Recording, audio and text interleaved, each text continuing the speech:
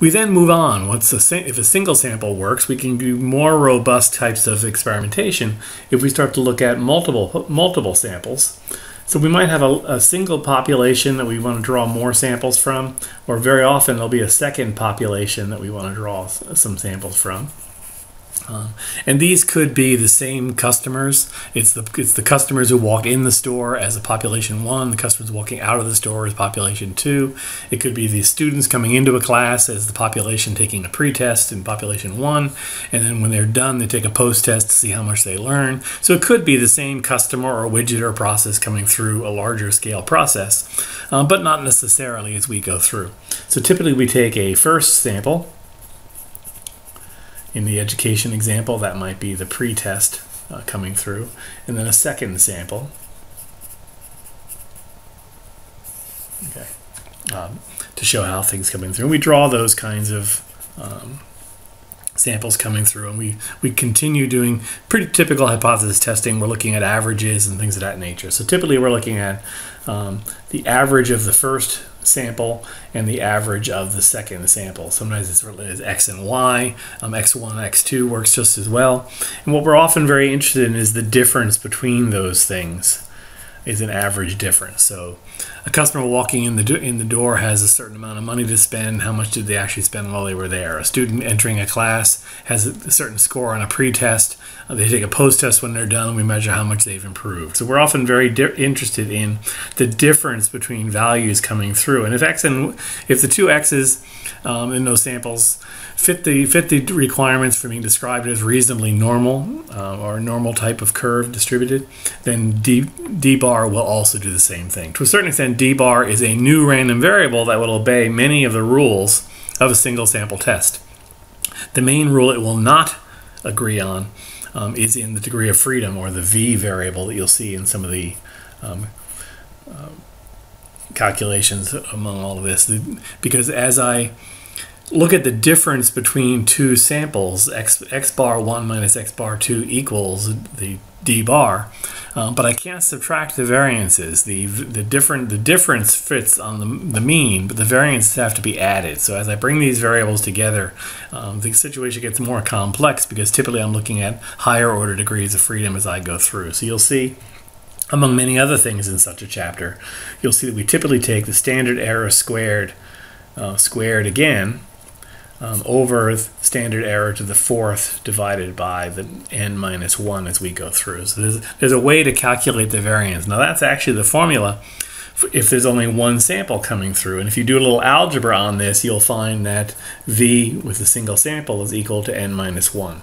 So if you didn't know where the n minus 1 came from in doing the variance calculation for the single sample, this is basically it. It's this formula which algebraically reduces to simply n minus 1 for a two sample set, typically this standard error 1 here, and I use m for its number, I add to that the standard error 2 squared, and I take this entire set squared over um, se to the fourth over n minus 1. So there's a different term here, if you'll see. I'm adding the variances as I go through. So as the number of samples grows, the calculation for the variance and the degree of freedom becomes much more complicated as I go through. So don't be intimidated by equations like that. They're not as complicated as they look. It's simply a way to add up the variance and accumulate it across the variables that we're working with.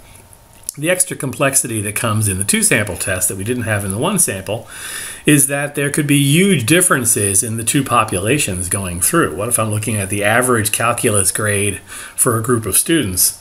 Um, and in one, one population I chose from high school seniors, and another I chose from engineering majors, seniors in college. Well, of course, there's going to be a huge difference um, in those populations. So I got to be careful how I do the statistics across the two populations.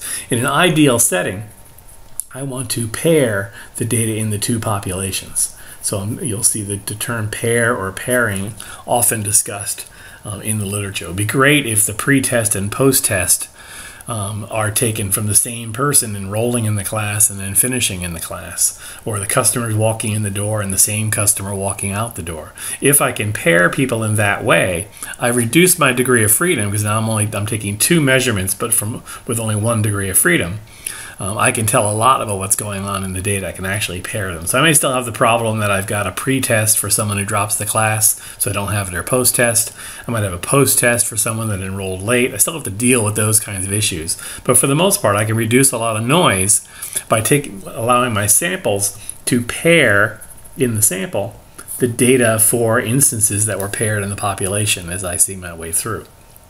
Sometimes I can't do that. Sometimes it really is only one population of people because there's no people that are in both populations. So I can't pair them back in the original populations, but I still want to pair them coming through um, so I can look at differences in populations across time and differences in sample. So at that point, you'll see the term blocking used in any, any text or discussion of um, two sample experimentation, two or more sample, I should say. But basically, here on the, the two sample hypothesis test, we're going to do our blocking as we go through, where we try to anticipate what kind of variables might exist in our population that would partially explain the differences in the data and therefore become noise. So if I want to do a pre and post test of people coming through a class, um, or I might, I might want to measure um, how one population of people in my online class compares to all the people that take my live class, where there is no student who's in both populations.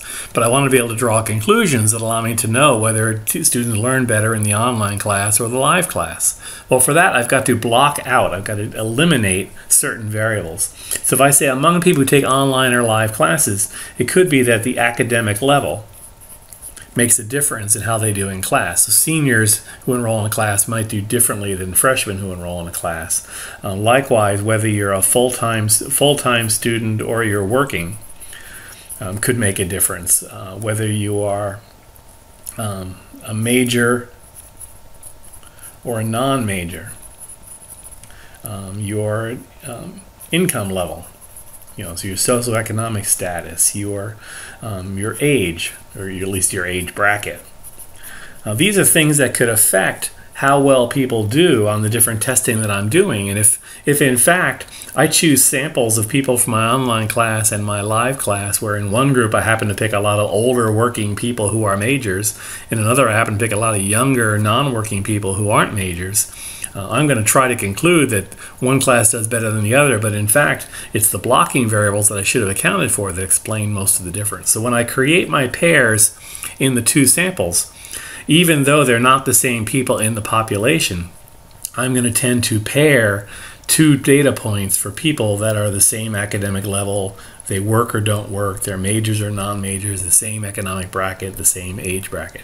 So I, if I pair people according to that, then I've taken those variables out of the running. And if in fact the difference in scoring tends to be support my hypothesis, it will be because of the difference in the class, not because of the differences in these variables. So it's a way to remove certain variables from the discussion. In doing so, I give up a lot of degree of freedom. So my answers will be less precise at the lower degrees of freedom. Um, so I've got to make a choice. Do I want a less precise answer that I can be sure I'm measuring what I think? Or do I need a more precise answer even though it might not accurately be measuring what I think I'm measuring? And somewhere in that continuum is the sweet spot I'll do in any particular experiment.